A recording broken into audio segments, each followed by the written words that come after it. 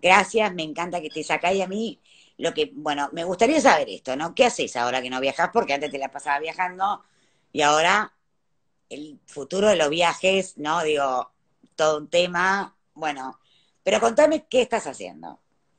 Bueno, eh, en principio yo tengo una agencia de publicidad hace muchos años, por lo cual ese trabajo no lo abandoné y sigo trabajando en eso, lo cual tiene una carga horaria bastante importante.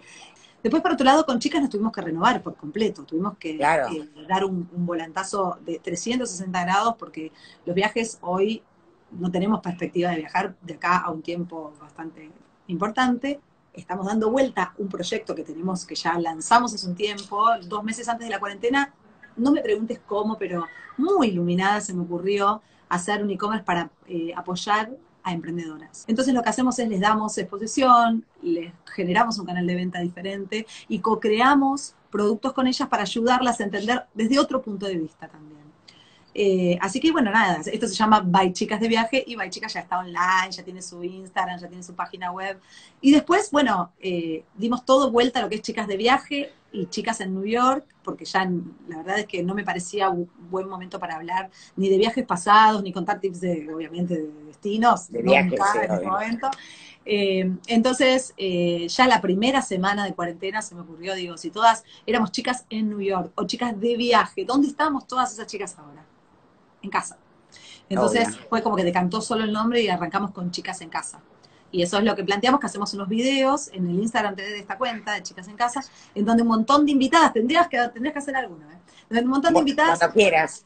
Obvio, enseñan o dan una charla o enseñan eh, a hacer algo diferente. Son solo 10 minutos para que las chicas en su casa ayudarlas un poco a pasar mejor este momento, pero sobre todo para las que están solas o que están un poco más angustiadas, de que se animen a probar a hacer algo nuevo en 10 minutos o a hacer algo que les haga bien, que les haga felices, a reciclar en su casa o a bailar o a cantar. Hay clases de tap, clases de canto con Charlie San Martín, eh, de baile con eh, eh, Charlie San Martín, de canto con Bismódica, bueno, un montón de cosas, todos por profesionales recontragrosos que enseñan a hacer cositas en 10 minutos en cuarentena. Y eso se llama Chicas en Casa y está dentro de este Instagram TV. Me encanta lo que estás contando, me parece espectacular.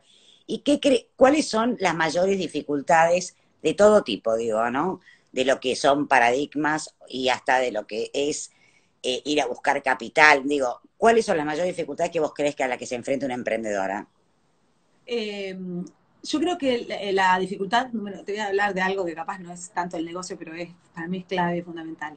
Eh, la primera barrera la tenemos nosotros. Creo que mm. la primera barrera es el miedo. Mm. Es el miedo a arriesgarse, el miedo a, tener, eh, a, que no sea una gran idea, a que no nos alcance el presupuesto. Después, eh, yo creo que hay, hay una gran parte de, Yo siempre digo, hay un porcentaje de inspiración que es muy cortito y un gran porcentaje de transpiración.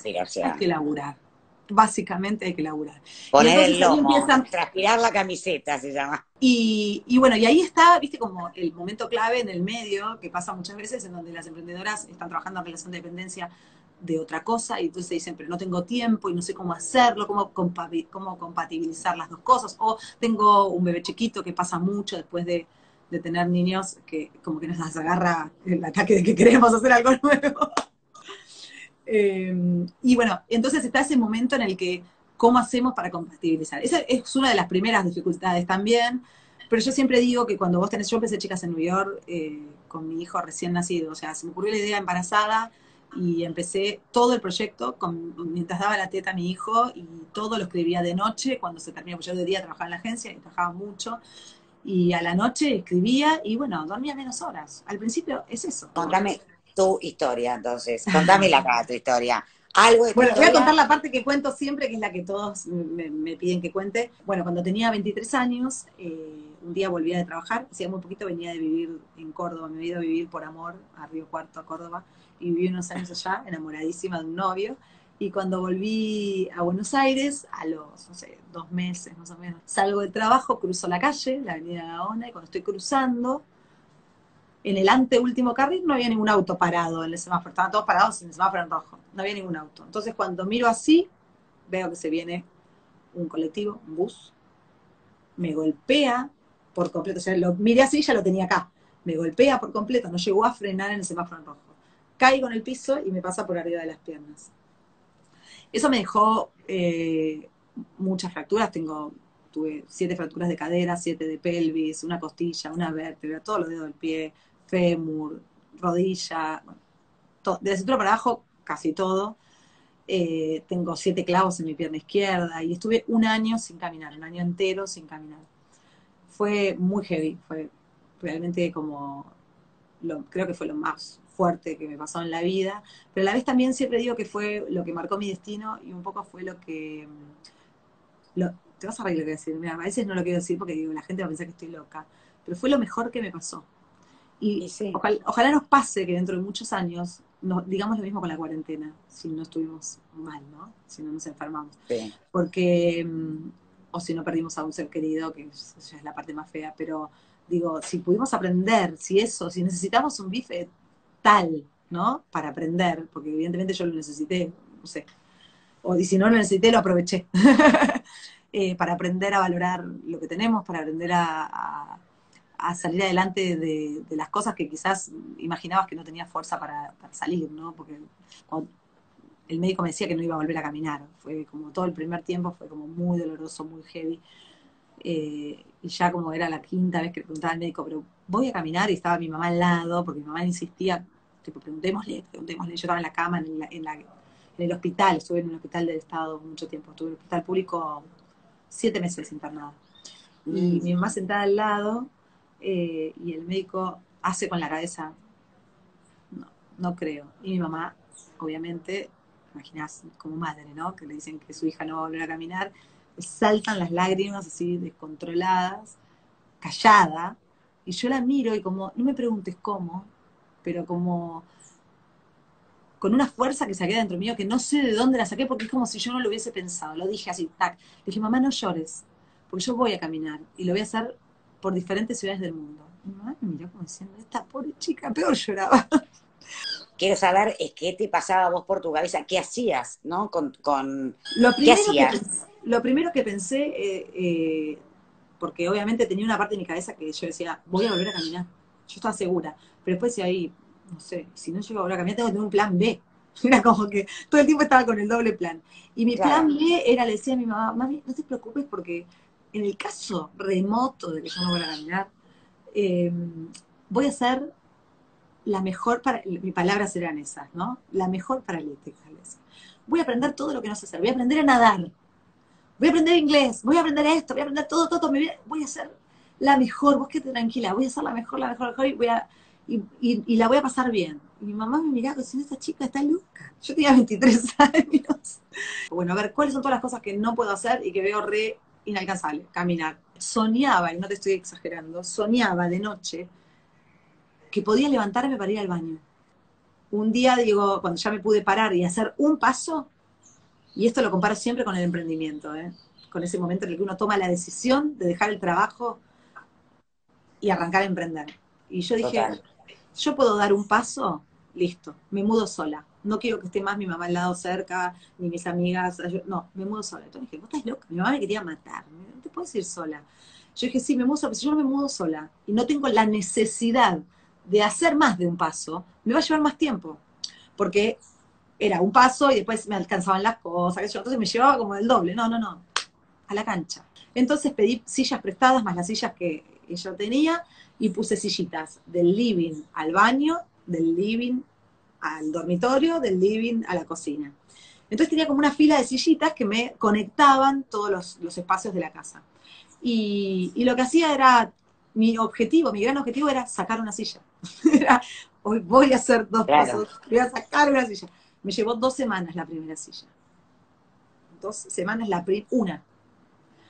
Entonces, eh, cuando a mí me dicen, viste, que nada, en cuarentena, que todo este tiempo, que no sé qué hacer, que los pibes, las cosas, te juro que pienso, digo, qué afortunada soy que yo ya lo viví, ya estuve y ahora aprendí a disfrutar de esto. Ya está, esto es lo que hay, sí, pasan cosas en la casa, la familia, todo, pero nada se compara con eso. Y bueno, y así a los, a los, no sé si llegaron a ser dos meses, ya había sacado casi todas las sillas y el día que saqué todas las sillas empecé a buscar trabajo mi cabeza estaba, eh, estaba mucho más, estaba más lúcida que nunca, te diría. Y, mm, y tomé muchas muy buenas decisiones. Creo que ese, ese, fue el momento, creo que fue mi, mejor momento, diría. Eh, pintaba mucho, yo pinto también. Eh, Sí. Ahora hace algunos años que no estoy pintando, pero pinto. De hecho, expuse en un montón de lugares del mundo antes de, de Chicas en New York. Y, y pintaba un montón. Y me acuerdo un día que vino un amigo mío de la infancia, de- no, un amigo que es amigo mío desde los ocho años, Diego, eh, que un día vino y me trajo una caja de, de lápices de colores. Nunca me lo voy a olvidar. Yo estaba amarilla, amarilla literal, porque viste que, o sea, no, no comí durante meses y después era sonda, viste, o sea, te pones amarilla por el suero, por- te cambia el color de la piel, era como un Simpson. y yo sentía que cada vez que pintaba con esos colores, era como si, era una sensación inexplicable, como si me devolviera parte de esos colores en mi cuerpo. Es muy loco lo que te voy a decir. Yo soy muy gráfica, muy visual, ¿viste? Entonces, como que si No, yo, es yo pintaba y esos colores volvían a mí, ¿viste? De alguna manera. Eh, y mi cabeza todo el tiempo iba muy rápido, y sí, es muy parecido a emprender salvando la tragedia, ¿no? Eh, porque tenés que tomar decisiones, tenés que pensar cuál va a ser tu próximo paso, tenés que atreverte a hacer el próximo, porque a, a- a decidirte a cambiar un montón de cosas. Cuando yo empecé a empecé como emprendedora, a mí me gusta como siempre contarlo más desde mi experiencia porque no, no me siento como para hacer una bajada de línea de tipo hay que hacer esto, esto es lo que pasa, ¿viste? Como me siento mucho más cómoda contando lo que a mí me pasó y Total. que cada uno pueda rescatar lo mejor de ahí e inspirarse Sí. con lo que le sirva. Eh, a mí lo que me pasó es que yo nunca, eh, nunca, nunca sentí, si bien tuve obviamente en muchos aspectos de mi, vida, en muchas veces que me fui presentando en determinadas situaciones con emprendimientos o con trabajos en relación de dependencia, sentí esa diferencia eh, de género, porque la sentís, porque existe.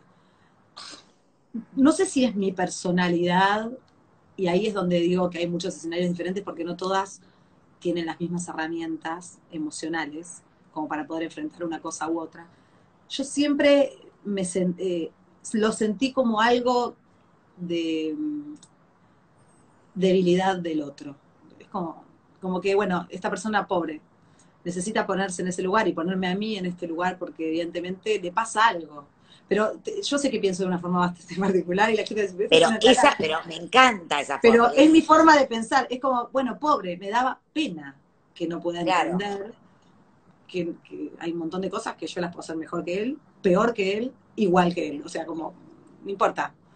Entonces, eh, nunca lo tomé como una traba porque no me adueñé de esas palabras. No sé cómo explicarte. Como que cada vez que yo escuchaba algo así, y esto está buenísimo porque a la gente como que le dicen algo y dice, no, me dijeron esto y esto es, como que siente como si eso fuese la ley. del- Claro. de ese trabajo, de esa persona.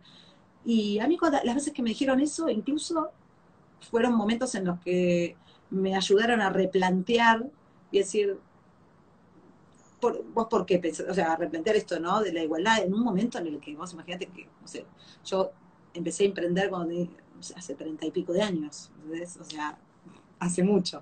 No teníamos la suerte como ahora de poder hablar tan franca y directamente de estos temas con un montón de gente más. Estaban las feministas de siempre, a las que uno no conocía, porque yo no las conocía, era muy joven, era como que había algo por ahí que sucedía y que se sabía y que bajaban las cosas de una manera que dice, wow, mirá cómo esto cambió. Pero no estaba la vorágine de la velocidad de todos los días que hay ahora, ¿no? No. Donde vos podés verle la cara a la mina que habla por, por un montón de mujeres y, y podés eh, ver los cambios en la calle, en la gente, en las generaciones nuevas que piensan de otra forma y que es hermoso. Eh, entonces, en ese momento para mí fueron como, fueron cosas que no, no las tomé, como que no las tomaba en serio de esa persona. Sentía que era una persona que tenía cierta debilidad, que necesitaba hacer eso, de, de discriminar por, por, por- porque yo era mujer y esa persona no. Y me pareció una debilidad de él, pero claro, yo tengo también esa forma de, bueno, listo, ok, chau, a, a otra cosa, no, no te creo, como que no le creí nunca a esa gente.